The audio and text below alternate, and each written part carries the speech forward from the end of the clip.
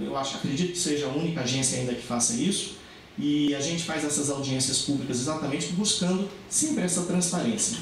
E a gente, todas as vezes que, que tem. É, é, seguimos todo o, o trâmite é, é, administrativo, todas as nossas decisões são publicadas, recebem é, recurso, tem ampla defesa sobre, sobre as decisões. É, dentro do, do, do âmbito administrativo, a gente ainda pode revisar nossas decisões e, e, e assim com muita clareza. Inclusive, se quem quiser buscar o processo de, de revisão, você consegue pela internet verificar todos os documentos que foram juntados.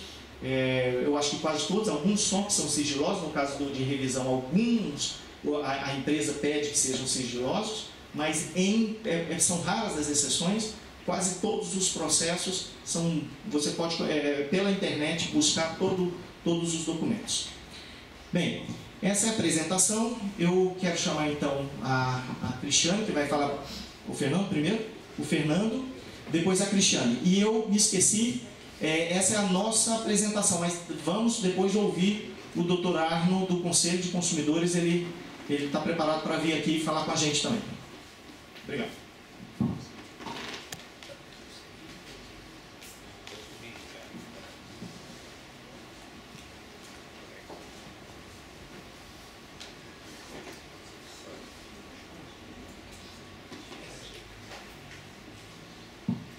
Boa noite a todos. Bom, meu nome é Fernando Miranda. Eu trabalho na Superintendência de Mediação Administrativa, Ouvidoria Setorial, Setorial e Participação Pública da ANEL. É, eu vou fazer uma apresentação aqui. Primeiramente, eu gostaria de dizer que é um prazer retornar a Ijuí. Acho que do grupo aqui, eu sou o único que estava aqui há quatro anos atrás, no último ciclo, né? É um prazer retornar aqui à cidade quando a gente vem ao sul aqui, ainda bem que a gente só passa poucos dias, porque senão a gente morre de comer, porque a comida aqui no sul é muito boa. Eu vou apresentar alguns dados aqui a respeito da ouvidoria da ANEL e em uma segunda parte da apresentação vou apresentar alguns dados relativos à SFE, que é a Superintendência de Fiscalização dos Serviços de Eletricidade da ANEL. Bom, para começar aqui, é, a ANEL, todos os anos, realiza o IASC, que é o Índice ANEL de Satisfação do Consumidor. É uma pesquisa que é feita com os consumidores residenciais para avaliar a, a qualidade do serviço prestado pelas distribuidoras em todo o país, tanto concessionárias quanto permissionárias. É, em 2016, é, foram entrevistados 200 consumidores. Essa foi a amostra utilizada aqui dos consumidores do DEMEI. E é, o IASC ele avalia, dentre outros parâmetros, é, satisfação global, fidelidade, a qualidade percebida e utiliza metodologias que são aplicadas em diversos países pelo mundo. É, em 2016, é, numa escala de 0 a 100, essas são as notas do DEMEI no último ano e nos anos anteriores também o DEMEI obteve a terceira melhor nota entre todas as concessionárias do Brasil em 2016. A qualidade percebida pelo consumidor do DEMEI é uma constante ao longo dos anos. Em 2014, o DEMEI foi eleito a melhor distribuidora do país, no IASC. É, o prêmio IASC, ele, aos vencedores, aos campeões, tem a melhor distribuidora em geral, a melhor distribuidora por região, é, Aquele, aqueles que são vencedores podem estampar nos seus materiais promocionais, nas faturas, é, o título de campeão. Por exemplo, o DEMEI em 2014 foi eleito a melhor distribuidora. Foi eleito a melhor distribuidora é, no geral. Então, é, pôde estampar nos seus materiais promocionais com a melhor distribuidora de energia elétrica. É, continuando aqui, com relação à execução dos serviços, é, em 2016 o DEMEI prestou 8.554 serviços diretos aos consumidores. Serviços dos mais variados, como ligação nova, troca de medidores, e cada um tem um prazo regulamentar estabelecido na é, Resolução 414 de 2010. Desses serviços, é, o índice realizado dentro do prazo foi de 97,85%, um índice bem alto.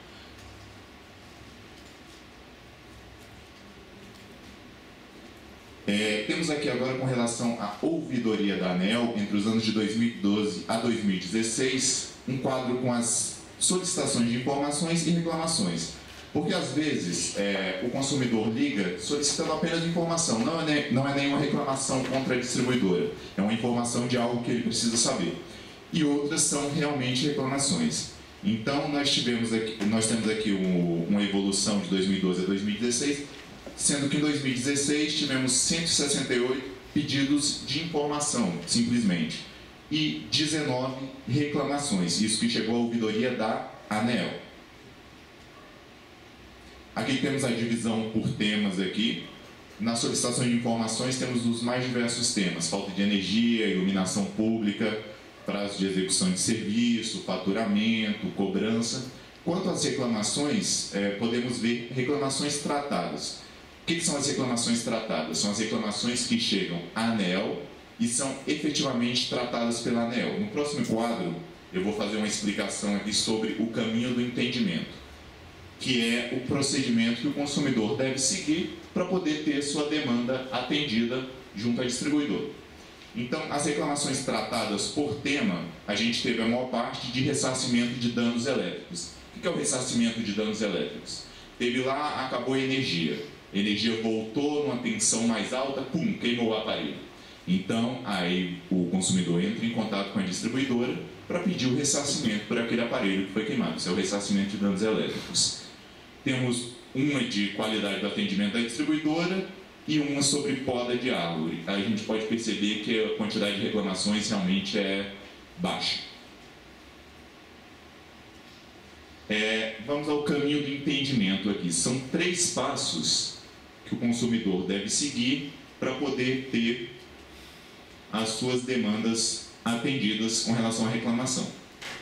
Você é consumidor do DMEI, tem uma reclamação contra a distribuidora. Qual o primeiro passo a fazer? Se a reclamação é com relação ao fornecimento de energia da distribuidora, reclamar com a distribuidora. Esse é o, a, é o telefone da central de teleatendimento do DEMEI. o consumidor ligou, ele vai receber um protocolo de atendimento. Não foi resolvida, a, o problema do consumidor não foi resolvido. Qual o próximo passo? Entrar em contato com a ouvidoria da distribuidora. Então a ouvidoria do DMEI pode ser contactada nesse telefone, ou via e-mail, ou ainda no formulário disponível no site da própria distribuidora. Também o consumidor, ao entrar em contato com o DMEI pelo canal da ouvidoria, receberá um protocolo de atendimento. Não foi resolvido com o segundo passo. Qual o terceiro passo do consumidor? Entrar em contato com a ANEL ou com a agência estadual, a. O telefone da ANEL, a gente tem um atendimento no telefone 167. O atendimento é feito de segunda a sábado, 6h20 à meia-noite. É, no endereço da ANEL, no é, www.anel.gov.br barra espaço do consumidor, tem chat online também. Você pode conversar com o um atendente no, no site. Funciona de segunda a sábado, de 8 às 20 horas. Tem um formulário, você não quer falar por telefone, não quer conversar com o atendente pode preencher um formulário ainda no site da ANEL. E lembrando, ao entrar em contato com a ANEL, o consumidor deve ter em mãos sua fatura de energia e os protocolos anteriores de contato, tanto com a distribuidora quanto com a ouvidoria da distribuidora. E ainda tem um outro canal que eu não coloquei aqui porque é menos utilizado, mas vai que vocês estão lá em Brasília, passando na frente da sede da ANEL e quer fazer uma reclamação pessoalmente lá, temos servidores para atender, são os meus colegas que trabalham na SMA, que fazem um atendimento presencial na própria ANEL. Só que é um percentual ínfimo diante do, do que tem disponível para o acesso dos consumidores. Ou então entrar em contato com a agência estadual, a AGERBS, que é o telefone de contato, esse 0800 que os senhores estão vendo aqui, e o e-mail da ouvidoria é esse que está aparecendo aqui. Então, esses são três passos básicos para o consumidor resolver qualquer problema com a distribuidora. Então, se tiver um problema com a distribuidora, não é ir primeiro na ouvidoria. Primeiro é com a distribuidora. Segundo passo, não foi resolvido, ouvidoria da distribuidora. Terceiro passo, ANEL ou AGES. Funciona aqui também. Agora, eu vou apresentar aqui alguns dados relativos à fiscalização da Superintendência de Fiscalização dos Serviços de Eletricidade. É, as principais reclamações dos consumidores nos canais de atendimento, nesse caso, da distribuidora. Podemos ver, e eu acho que não é nenhuma novidade para os senhores, que as principais reclamações são quanto à interrupção do fornecimento. Que a maioria das pessoas liga para a distribuidora quando? Quando falta luz em casa. E temos aqui as reclamações listadas como outras reclamações, que é um percentual menor ali, pouco mais de 10%. E a gente tem aqui, nesse gráfico da direita, eles divididos num, num gráfico maior, ampliado. Então, são reclamações com relação à apresentação, entrega da fatura, o atendimento recebido pela distribuidora, danos elétricos, que foi o caso que eu expliquei anteriormente, e outras reclamações, tensão, diferença de tensão no fornecimento, variação de consumo. Aqui temos um gráfico aqui que a Cris vai explicar bem melhor do que eu, que é sobre a qualidade, DEC e FEC, mas nós temos aqui da Superintendência de Fiscalização uma média móvel do DEC e do FEC no, é, num período de 12 meses. O DEC, como o próprio Serrato explicou inicialmente, é a duração que a pessoa fica sem energia elétrica, em, em horas medido isso.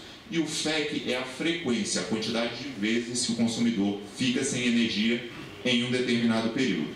Nós podemos ver aqui, e a Cris vai explicar melhor, que o, o DMEI sempre fica abaixo dos limites regulatórios estabelecidos pela ANEL.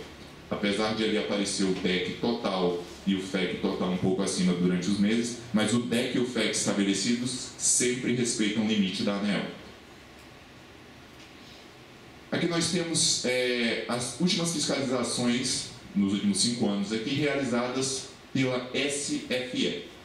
É, uma fiscalização é, com o tema conformidade de nível de tensão, feito pela AGERS SFE, e o, o auto de infração é, de 4 de 9 de 2015 resultou numa multa de R$ 13.774,73. As penalidades das fiscalizações variam desde advertências, é, simples advertências, até inclusive a multas, ou ainda pode-se constatar que não há a não conformidade quando é feita a fiscalização, que é o caso exatamente do segundo auto de infração. Ele não gerou nenhuma penalidade para a distribuidora porque não foi verificada essa não conformidade. É, Aqui são as previsões de fiscalização da SFE para os próximos anos. Então, após monitorar os indicadores e as reclamações durante o, o último ano, foi verificada a necessidade de analisar os seguintes temas: pagamentos por danos em equipamentos elétricos e a duração e quantidade de interrupções no fornecimento de energia, que foi o que eu expliquei e a Cris vai detalhar melhor. Para o ciclo de fiscalização 2017-2018, está prevista uma fiscalização com relação aos procedimentos de apuração dos indicadores de continuidade, dos chamados DEC e FEC. Bom, com isso eu encerro aqui a, a minha apresentação e gostaria de agradecer mais uma vez a atenção de todos aqui e dizer que é uma satisfação estar aqui na cidade de Juiz.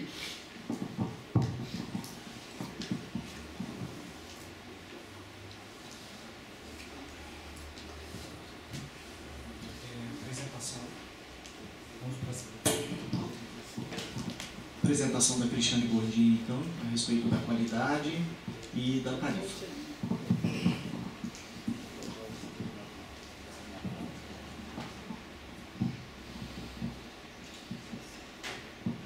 Boa noite a todos. Como o Ferrato e o Fernando já falaram, né, o objetivo dessa reunião aqui, de nós estarmos, é falar sobre os resultados, da, os resultados preliminares da revisão tarifária do DEMEI agora de 2017 e apresentar os índices de qualidade. Eu sou analista da Superintendência de Gestão Tarifária e é onde nós realizamos todos esses cálculos. Eles já explicaram bastante, basicamente, né, já ajudaram o meu trabalho aqui, mas é, eu vou tentar detalhar um pouco mais é, como funciona o sistema, o, o, o sistema elétrico, né, para nós entendermos como é que acontece o, o serviço de energia elétrica e também algumas, alguma metodologia, de forma bem simples, porque é, é algo bem complexo, vamos tentar traduzir isso de uma forma mais simples para que nós entendamos como, a, como chega a nossa conta de luz.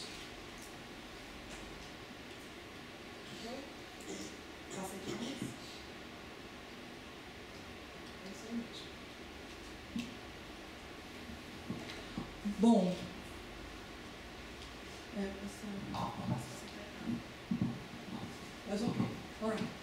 Vamos lá.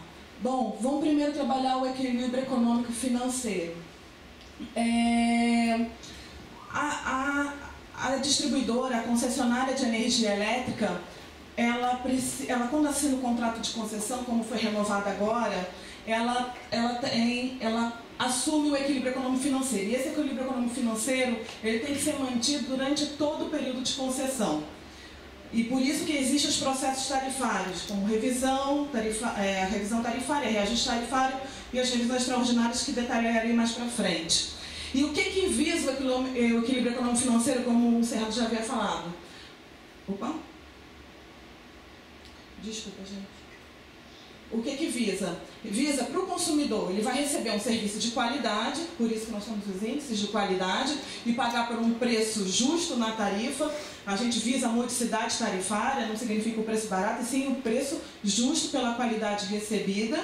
E o distribuidor, a distribuidora, a concessionária de distribuição, no caso o DMEI, ela precisa cobrir os seus custos operacionais eficientes e obter o adequado retorno pelo capital investido.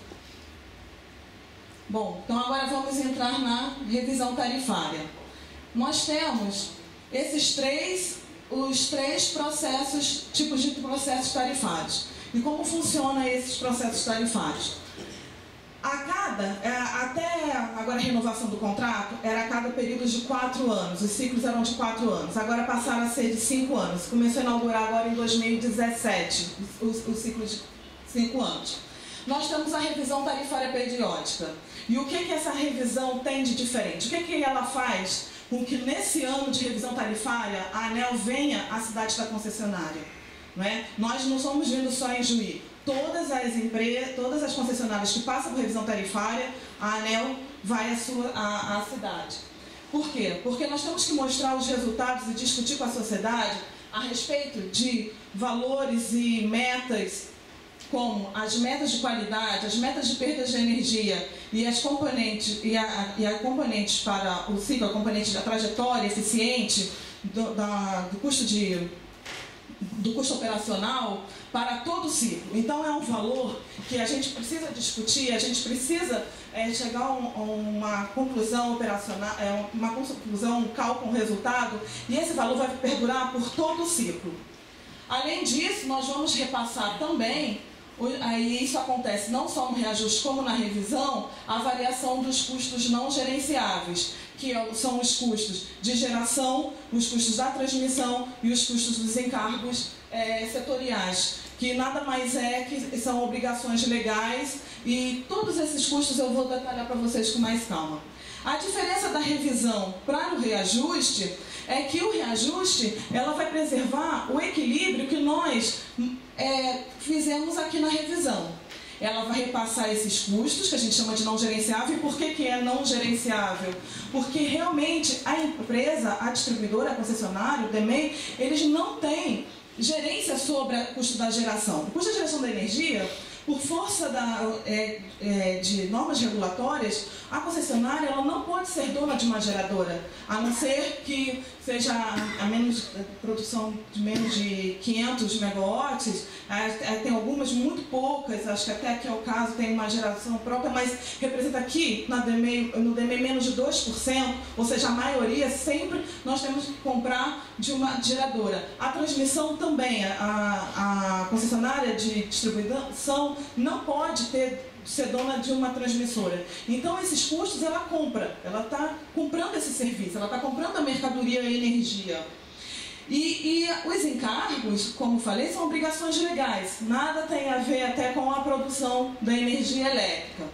Além disso, no reajuste tarifário, a gente vai pegar esse valor de custos da, do custo de eficiência da distribuição e nós vamos é, atualizar pelo IPCA e nós vamos descontar desse fator aqui, que é o fator de é, médio da produtividade, que vai compartilhar a eficiência por, por ano a ano é, com os consumidores.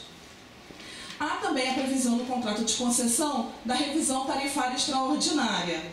Essa revisão ela é realizada é, sempre, não, não tem uma periodicidade, como o nome já diz, é extraordinário, é, e ela é realizada sempre que acontece algo extraordinário. Os exemplos que nós temos, as duas vezes que isso aconteceu, foi em 2013 e 2015. Também detalharei para vocês o porquê disso. Bom, então agora vamos é, saber como é que acontece para a gente acender a luz na nossa casa ou ligar o liquidificador. O que, que acontece? Né? A, a, a, geração da energia, que tem uma hidrelétrica, mas ela pode ser de uma térmica, pode ser de uma nuclear, de uma de biomassa, uma eólica, tem a geração de energia, essa geração de essa energia, ela vem por esses linhões que nós conhecemos muito bem nas estradas, né? E quando chega até o centro consumidor, é, a distribuidora ela baixa a tensão, entra na sua rede de distribuição até chegar nós consumidores. Todos os consumidores, rurais, é, industriais, comerciais, poder público, os residenciais, toda a energia chega dessa forma. E os custos que eu estava falando para vocês, não gerenciais, são esses custos aqui, ó, geração, transmissão e os encargos. E os custos gerenciais, que fazem parte do, do controle e da competência, da eficiência da empresa distribuidora em seus custos,